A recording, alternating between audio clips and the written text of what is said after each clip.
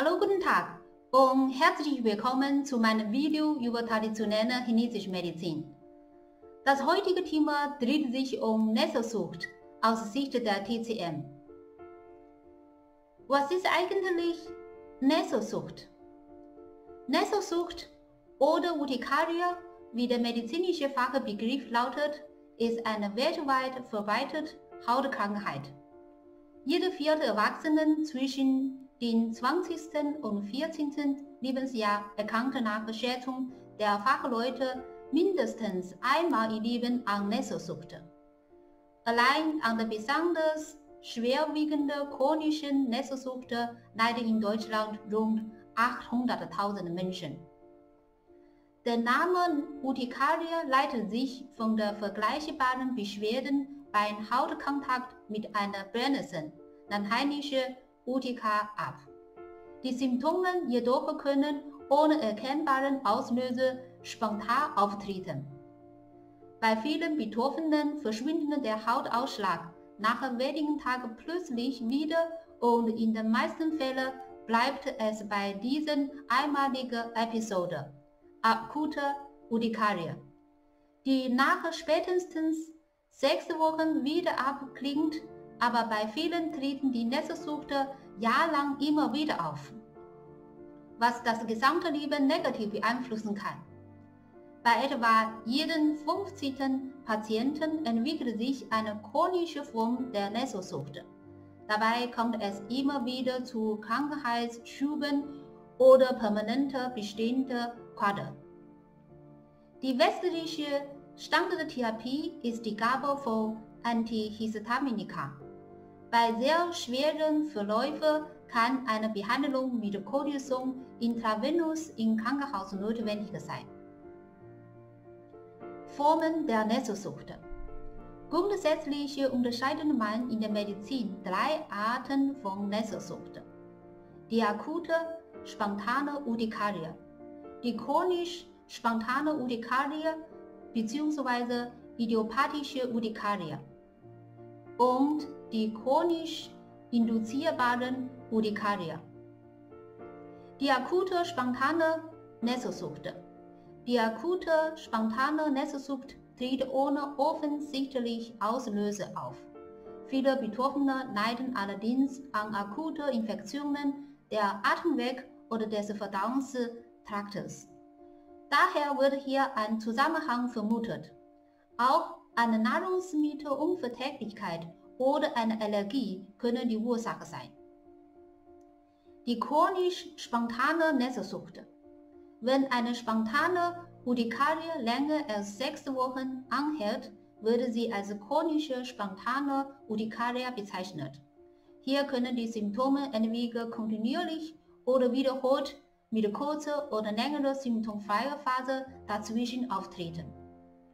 Ursache einer spontanen chronischen Nesselsucht können sein chronische Infekte, wiederkehrende Infekte wie beispielsweise eine Nasennebenhöhlenentzündung, Mandelentzündung oder Kieferabszess. Autoimmunreaktionen, Abwehrzellen des Immunsystems gehen gegen körpereigene Zellen vor. Überempfindlichkeit, Pseudoallergie.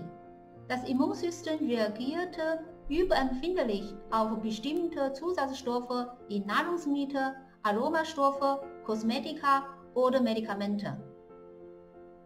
Eine chronisch spontane Urtikarie kann aber auch durch andere Faktoren ausgelöst werden, zum Beispiel im Rahmen einer Allergie. In 20% der Fälle kann aber keine genaue Ursache ausgemacht werden.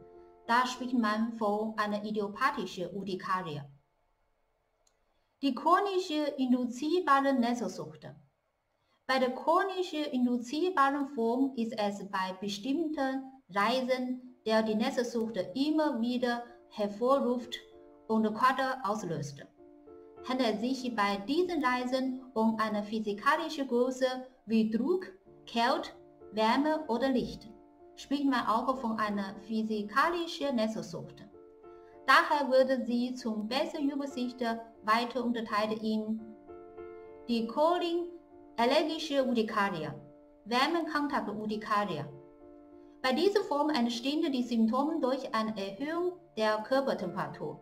Das kann durch Schwitzen, Hitzen oder auch einfache Nuschtests erfolgen. Häufiges Symptom bei einer cholin-allergischen Nesselsucht ist eine gerötete Haut, die vor etwa steckennade kopfgroße Quader übersät ist. Diese treten vor allem an Armen, Beine, Brüste oder Bauch sowie auf den Rücken auf. Bei Abkühlung des Körpers klingen die Symptome meistens wieder rasch ab. Die Kälte-Urtikaria. Sie springen auf kalte Luft, kalte Flüssigkeiten oder kalte Gegenstände an. Wo die Temperaturgrenze bei dieser Form der Nesselsucht liegt, ist von Patienten zu Patienten verschieden.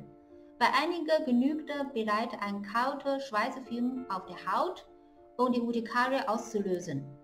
Die Quader entstehen meist nach einigen Minuten und können die Betroffenen für einige Stunden quälen. Die Drucke-Urtikaria. Ein anhaltender Druck löst hier zeitlich versetzend die Hauterkrankung aus. Erst nach drei bis zwölf Stunden entstehen die Quader auf der Haut. Daher wird ein direkter Zusammenhang mit der Druckeinwirkung oft nur schwer erkannt. Die Vibrationsurtikaria. Ein möglicher Auslöser der Urtikaria kann Vibration sein, wie etwa bei Arbeit mit dem Presslufthammer. Die Lichturtikaria. Eine Ursache kann auch UV-Licht, zum Beispiel in Solaria oder sichtbares Licht sein. Und als letzte Variante noch die Urtikaria factitia. Ausgelöst wird die Nesselsucht hier durch sogenannte Scherkräfte, die auf die Haut einwirken. Diese Kräfte entstehen bei Einwirkungen auf die Haut, wie beispielsweise Kratzen, Reiben oder Scheuen. Die Symptome der Nesselsucht.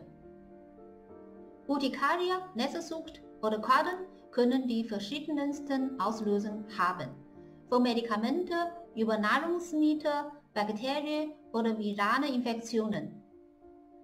Andere Grunderkrankungen, Insektbiss, Kälte, Hitze, Sonnenlicht oder Druck können die unterschiedlichsten Faktoren zur Urtikaria führen. Zwar ist der Name Urtikaria weniger geläufig, die mitunter quälenden Symptome der Nesselsucht, die grundsätzlich jeder treffen können, sind es hingegen schon. Flüssigkeitsansammlung in tieferen Hautschichten führen zu Hautschwellungen, die stark schmerzen können. Plötzlich bilden sich auf der Haut Rötungen, kurze Zeit später folgen blasrot bis leuchtende rote Erhebungen.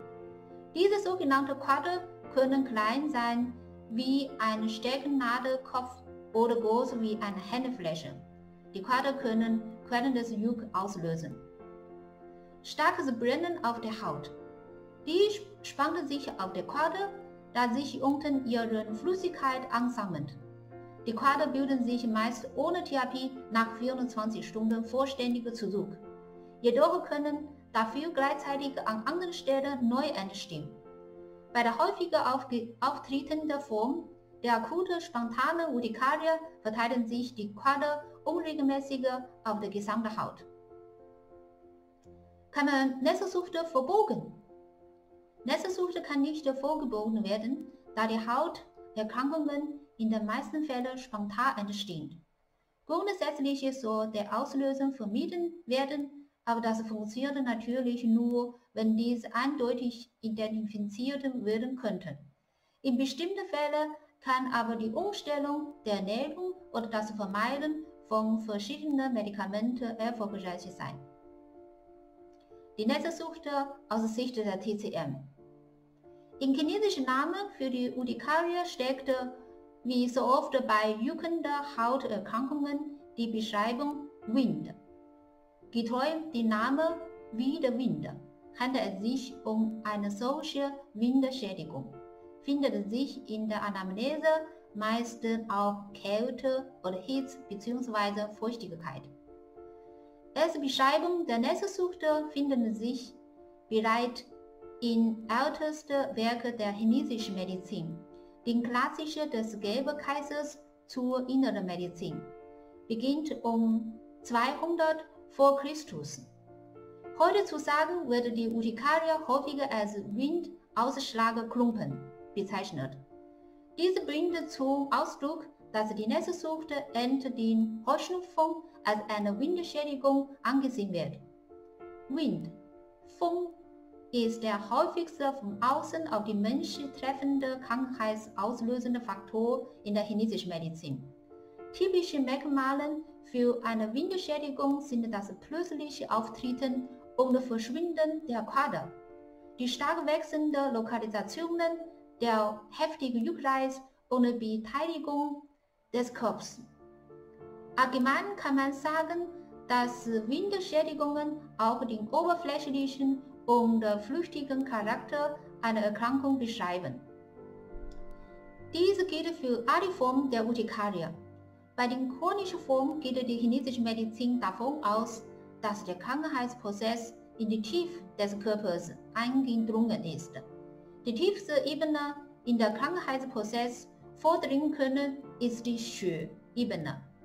Der Bereich des Xue, annähernd dem Blut entsprechend, muss bei chronischen Formen der Urtikaria unbedingt mitbehandelt werden. Dabei ist insbesondere darauf zu achten, dass Stagnation im Fluss des Xue beseitigt werden und eine harmonische Xue-Bewegung erreicht werden. So kann das Xue zum Beispiel mit geeigneter therapeutischer Maßnahme gekühlt oder auch bewegt werden. In der Tat haben sowohl das zellulär als auch das humorale Immunsystem viel mit dem Blut zu tun. Behandlung mit Akupunktur. Die chinesische Medizin hat ein breites Indikationsspektrum. In der Indikationsliste der World Health Organization ist die Akupunktur als eine Therapiemöglichkeit aufgeführt, mit der sich Nässesucht bzw. Urtikaria behandeln lässt. Während einer medikamentösen Therapie symptomatisch die äußeren Auswirkungen behandelt, wirkt die Akupunktur der Ursache entgegen. Die Akupunktur wird in der chinesischen Medizin als die äußere Behandlungsmethode bezeichnet. Sie eignet sich besonders gut, um Erkrankungen zu behandeln, die sich an der Oberfläche des Menschen abspielen. Zur Oberfläche zählen vor allem die Haut und die Schleimhäute des Menschen. Aus diesem Grund können zum Beispiel grippaler Infekt oder Allergie in vielen Fällen gut mit Akupunktur behandelt und ausgeleitet werden. Da der wichtigste krankheitsauslösende Faktor bei der Urtikaria Wind, Feng ist, geht es in der Behandlung vor allem darum, Wind aus der Oberfläche auszuleiten. Eine Reihe von Akupunkturpunkten zeichnet sich dadurch aus, dass sie sich besonders eignen, Windschädigung auszuleiten. Dies lässt sich bereits an ihrem Namen erkennen wie Teich des Windes, Port der Winde, Versammlungshalle des Windes oder auch Marktplatz der Winde. Die Akupunktur sollte ein bis dreimal pro Woche durchgeführt werden. Dabei geht aus Erfahrungswert, je häufiger die Schube, desto häufiger die Akupunktur. Insgesamt sollten abhängig vom Krankheitsverlauf mindestens 10 bis 20 Akupunkturbehandlungen durchgeführt werden. In einigen Studien, die 2005 und 2010 in Deutschland durchgeführt werden, könnten eine spezifische juckreizberuhende Wirkung von bestimmten Akupunkturpunkten nachgewiesen werden. Daher ist der Stellenwert der Akupunktur speziell bei der Urtikaria besonders hoch einzuschätzen. Darüber hinaus ist diese Art der Therapie komplett nebenwirkungsfrei. Einsatz chinesische Heilpflanze. Oft wird Akupunktur auch in Kombination mit chinesischer Heilpflanze eingesetzt. Im Allgemeinen gilt die Behandlung von Hautkrankheit in der chinesischen Medizin als eine Domäne der Arzneimitteltherapie. Einige Heilpflanzen werden zur Behandlung von Urtikaria besonders häufig eingesetzt. Dabei handelt es sich wiederum Mittel, die Windschädigungen ausleiten können. Das Teichlinsenkraut aus den Gruppen der die Oberfläche offenen Arzneimittel beruhigen Juckreiz und beseitigen Hautausschläge. Es zeichnet sich auch dadurch aus, dass es Oberfläche, Ödeme und Schwellung zerteilt. Die linde boreale Wurzel und das Katzenmünzenkraut wurde häufiger als Kombination verordnet. Der chinesische Name der linde boreale Wurzel Fang Feng bedeutet Schutzschild gegen den Wind und weist auf die windzerstreute Wirkung hin, welche beide Mittel zu eignen ist. Sie wird auch zur Beruhigung von Juckreiz bei atopische Ekzem verwendet. Wenn Windschädigungen vom Organismus nicht frühzeitig wieder beseitigt werden, besteht die Gefahr, dass sie in die tiefste Ebene des Schö eindringen. Die große Dynamik vom Wind führt hier einerseits zu Hitze und andererseits zu Störungen, Irritationen und Stauungsphänomenen im Fluss des Schö. Zur Behandlung werden häufiger Finsterrose gewachsen und die Rinde der Staube Finsterrose verwendet. Beide führen zu einer Kühlung und harmonischen Bewegung des Schö. Ihre Bitterstoffe haben zusätzlich eine Entgiftungs- und beruhigende Wirkung. Zusätzlich wird innerhalb der Therapie auch das Schöpfung-Empfehlung mit dem einerseits der Metabolismus angekoppelt werden und andererseits die Feuchtigkeit, die für die Exinen teilweise verantwortlich ist, aus dem Körper entzogen werden. Die Histaminen, die unser Immunsystem bei Kontakt auf Reizstoff produziert, verursachen von Adiödine. Mit Schöpfung lässt sich die Feuchtigkeit wortwörtlich heraussagen. Zu guter Letzt noch einige Tipps. Man sollte auch bei der Ernährung und bei Lebensstil gewisse Punkte beachten. Hier sind einige Tipps, die man schon präventiv befolgen sollte. In der chinesischen Diätetik geht Schweinefleisch, Hühnerfleisch und Eier sowie Krebse und Garnine als Lebensmittel die Winde, Fong verstärken können. Sie sollten daher bei der Urtikaria gemieden werden. Man sollte generell auf scharfes Essen verzichten und bei Früchten kein Mango oder Nonggai.